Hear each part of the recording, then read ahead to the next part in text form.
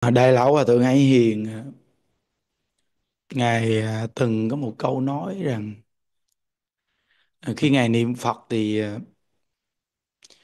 ở dưới đất và trên trời người niệm Phật rất là đông. Ừ. Ai đọc sách Hòa Thượng Hải Hiền hoặc là à, coi những công đoạn của ngài có câu đó. À, thì à, hồi nãy khi mà trước thời gian mà à, nhìn đức qua đây tu. Khi nằm thiêm thiếp đấy tự nhiên mình nằm thiêm thiếp thiêm thiếp mình nghe tiếng niệm Phật à, dẫn chúng mà tu ấy thấy ủa sao nhỉ? Trong tâm thức mình nói sao ai mà lạ đông thiệt đông người mà mà niệm Phật lễ Phật đông dữ vậy ta? Ờ, xong cái tự nhiên như Đức ngồi vậy còn khoảng 15 phút nữa qua đây để mà mình lễ Phật. Thì tự nhiên mình khi mình lễ Phật, mình tu, mình nhớ đến lời Hòa Thượng Ấy Hiền thì nói rằng, khi mình niệm Phật thì ở dưới đất và trên trời rất nhiều người niệm Phật. Không chỉ đạo tràng trên không trung quý vị, chứ đạo tràng trên không trung thì cái đường truyền của trên không trung quý vị. Mình thì ở dưới đất mình niệm Phật rất đông. Vậy thì cái đường truyền này nó truyền qua trên không trung thì người trên cao người ta cũng niệm Phật. Nên cái đạo tràng trên không trung này nó lợi ích rất là lớn thật sự lợi ích rất lớn.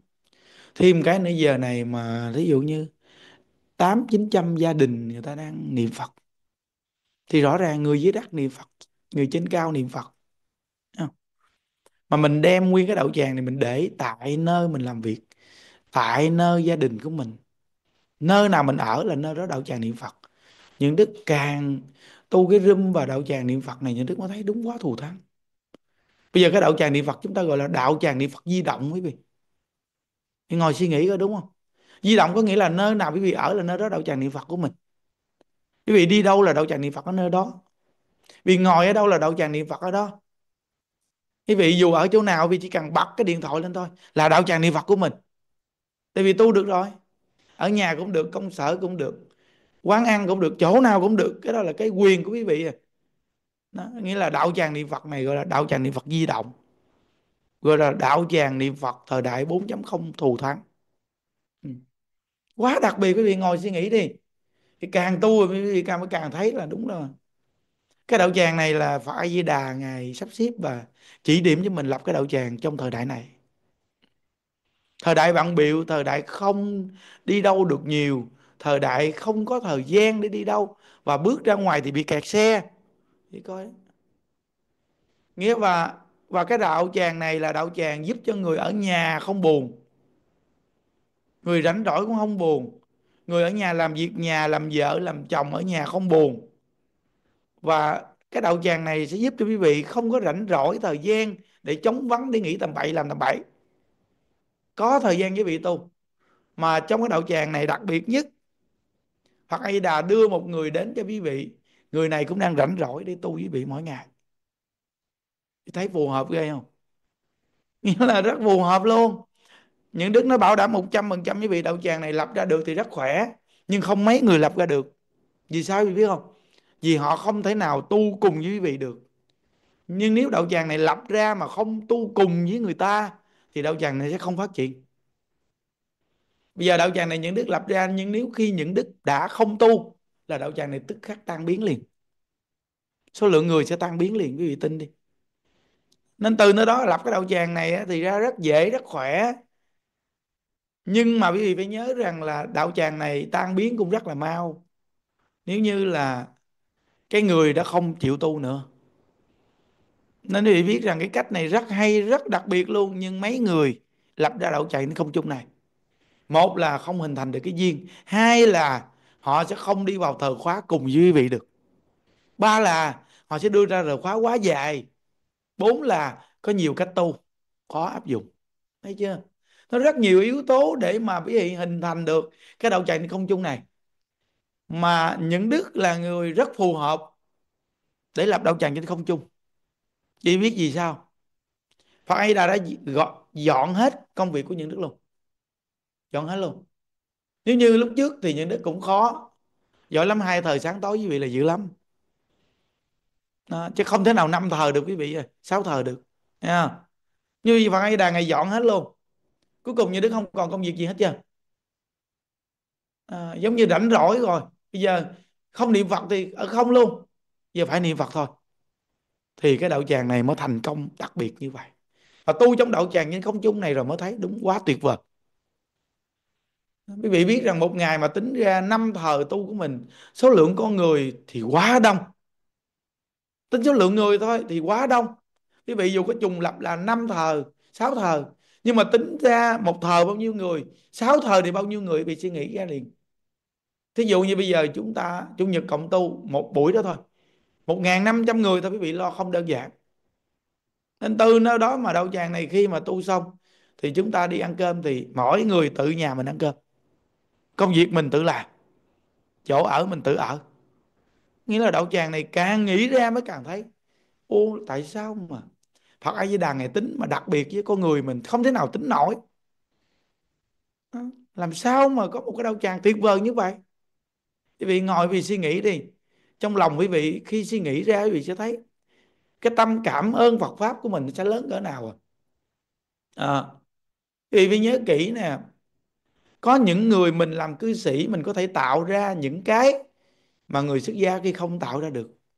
Nhưng có những cái người xuất gia làm ra, quý vị không làm được. Rõ ràng, trong cuộc đời này chúng ta phải nói rõ ra là phải cảm ơn nhau thôi. Cuộc sống không thể nào là cá nhân được, mà là cuộc sống của chúng ta là chung. Nên trong kinh Đức Phật nói, tất cả chúng sanh cùng là một thể. Nếu đã là một thể thì chúng ta chỉ cần làm đau nhau chỗ nào, thì chúng ta sẽ đau chỗ đó. Hiểu chưa quý vị? Có nghĩa là chúng ta làm nhau vui thì mình sẽ cùng vui. Nếu chúng ta làm nhau khổ thì mình sẽ cùng khổ. Vì chúng ta là đồng duyên, đồng nghiệp. Đồng duyên, đồng nghiệp. Nhớ kỹ. Nên nếu như mình nghe Phật pháp mà mình nghe kỹ rồi mình sẽ không làm nhau đau khổ đâu, quý vị à. Không làm nhau đau khổ đâu. Nên những đức nói rằng, khi dụng công tu này trong lòng những đức, sẽ phát ra một cái tâm là bạn không có thù. Dù bất cứ ai đối xử với mình, nếu như về cái tâm thế gian nói rằng là tệ cỡ nào, nhưng nếu như một ngày nào gặp lại, trước nhất là bản thân mình đến với người ta là bạn tay bắt mặt mừng và cực kỳ vui vẻ. Không có một chút gì quán thù với nhau. Nên chúng ta nên phát cái tâm đó đi, quý vị. Tại vì sao? Vì sao mình có thể phát cái tâm đó? Vì mình muốn về thế giới cực lạc. Chỉ có đúng mình muốn về thế giới cực lạc. Mình không thấy mình thiệt thòi, mình tin nhân quả.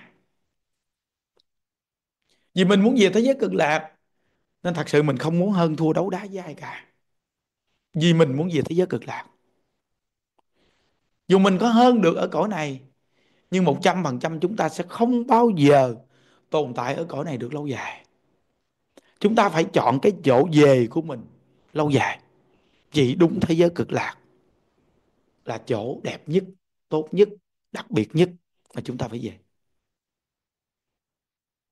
Nên mình mà chăng thật niệm Phật thì có những cái bản thân mình không đủ khả năng buông, thì Phật A Di Đà sẽ làm cho mình buông. Phật A Di Đà sẽ giúp cho mình buông. Ngài có cách làm cho mình phải buông. Và Ngài biết được khả năng mình, Ngài làm cho mình buông được, bản thân mình sẽ làm được. Và cái nhìn thấy được và rõ ràng, mình biết việc Ngài làm cho mình buông là điều tốt. Chắc chắn luôn. Vì cái tin Phật đi, cái sự điều chỉnh của Phật không phải là Ngài đi làm mà sự điều chỉnh của Phật là do gì tâm mình niệm Phật. Nên Ngài điều chỉnh từ cái tâm mình mà hình thành cái tướng bên ngoài. Nhớ kỹ nghe. À, Phật A Di Đà là cái bổ nguyện nên Ngài không cần đi làm.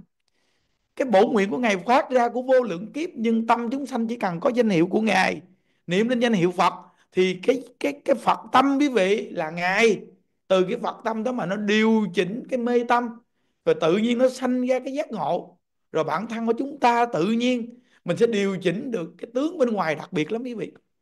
Nên không phải là Phật đi đến để để hỗ trợ làm cho mình đâu, mà mình là vị Phật mê hay giác là mình nè.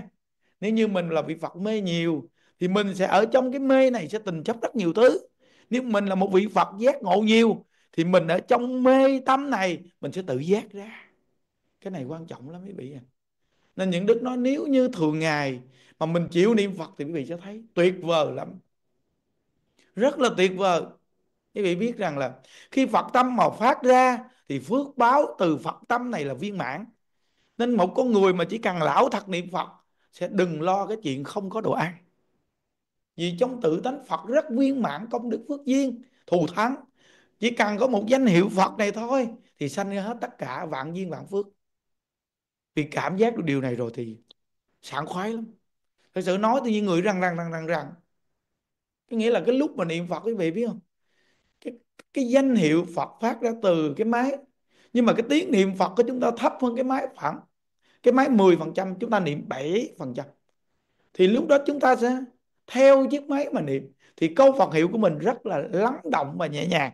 Khi nhẹ nhàng rồi thì tự nhiên mỗi câu Phật hiệu nó rót thẳng vào Phật tâm của mình liền. Ngộ lắm. Còn nếu như mình mình niệm háo hức, mình niệm qua mặt luôn, là mình vẫn còn cái vi tế của ngã nằm bên trong. Nó chưa dịu được tâm. Mà khi phát Phật tâm là cần phải dịu âm thanh. Âm thanh phải dịu, cực kỳ dịu. Thì lúc đó câu Phật hiệu rót rót rót vào nhĩ căn của mình, sanh cái Phật tâm. Hay lắm quý vị ơi. Đúng là rõ ràng. Câu Phật hiệu này tuyệt vời. Chúng ta phải phải phải có thời gian dụng công tu rồi mình mới cảm giác được. Công hiệu này tuyệt vời. Khi quý vị cảm giác được chỗ này rồi quý vị sẽ cực kỳ thích tu. Rất thích tu luôn. Ừ, không có một chút gì ngao ngán tu tập cả. Vì quá an lạc quý vị. Nó rất là an lạc. Đó đó. Và tôi hiền nói rằng dưới đất niệm Phật trên trời niệm Phật tạo trang trên không trung này một trăm phần trăm. Vì thấy rồi đó.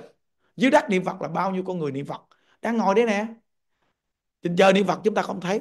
Nhưng mà các ngài nói trên trời niệm Phật và tôi hiền người nói, trên trời niệm Phật. Nên đây gọi là đạo tràng cực kỳ thù thắng. Bởi vì đem nguyên cái đạo tràng này, bao nhiêu con người này nè, bị đem để trong nhà quý vị. Lâu ngày rồi nhà quý vị quý vị biết rằng mình không có được thiên nhãn. Nên mình nhìn không thấy được cái phát sáng của cái nơi quý vị đang niệm Phật. Mà cái nơi quý vị không phải một mình quý vị, mà cái nơi quý vị đang hiện tại rất đông người đang ngồi xung quanh quý vị, và quý vị đang thấy đó, bấm lên thử đi. Phải quá đông không? Thì vị biết rằng cái nơi quý vị đang phát sáng cực kỳ sáng. Nên như Đức nói với cái cô mà chủ nhà Đức nói, nguyên một cái nơi phố thị đông đúc, nhưng hiện tại cái căn nhà này đang phát sáng cực kỳ sáng. Hàng trăm căn nhà, không có căn nhà nào như căn nhà này. Hiện tại từ ở trên tới dưới, chỗ nào cũng niệm Phật. Và nguyên một cái đạo tràng mỗi ngày tu, mỗi ngày sáu thờ tu. Cô chủ nhà của nó tràn hơn. Cái tâm con bây giờ nó thoải mái, nó an lạc, làm sao đâu. Đó. căn nhà lúc trước tới bây giờ ngộ thay các căn nhà sắp xếp hoàn toàn hết. Mà căn nhà không ai ở tự nhiên thì sao? Người này đến ở, tự nhiên căn nhà bây giờ vui vô cùng. Vì thấy cái nơi niệm Phật nó sẽ hình thành cái nơi ở, quý vị. Tuyệt vời lắm. Nhớ nghe, cái nơi nào si, người niệm Phật đến là thịnh. Cái nơi nào quan du, người niệm Phật đến nơi đó sẽ tự nhiên phồn hoa.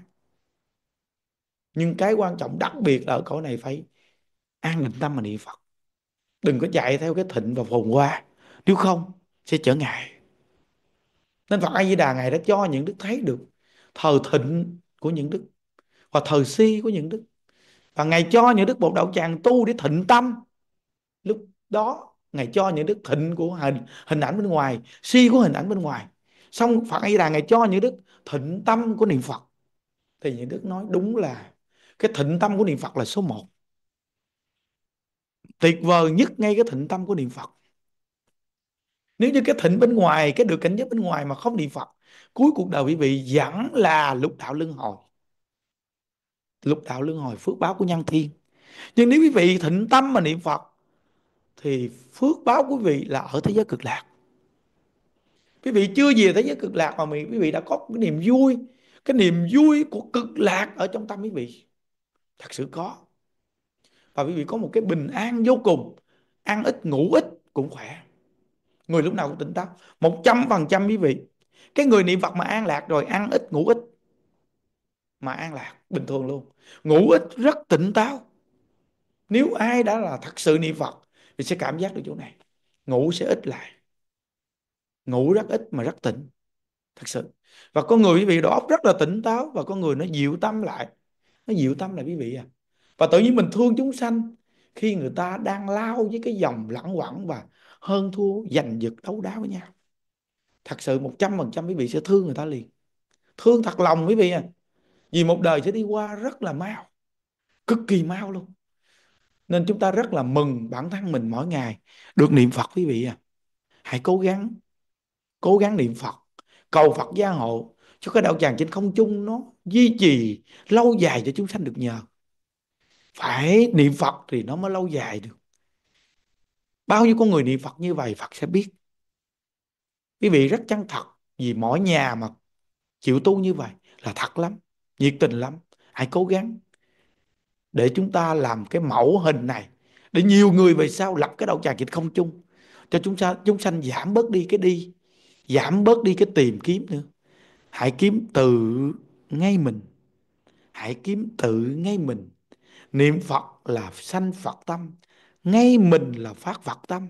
Không tìm đi đâu xa nữa đâu. Không tìm đi đâu xa nữa hết. Hãy ngay mình mà đào đi quý vị. Sẽ thấy rõ ràng sự lợi ích của tâm Phật phát ra. Chúc quý vị an lạc. A di đà phật. A di đà phật.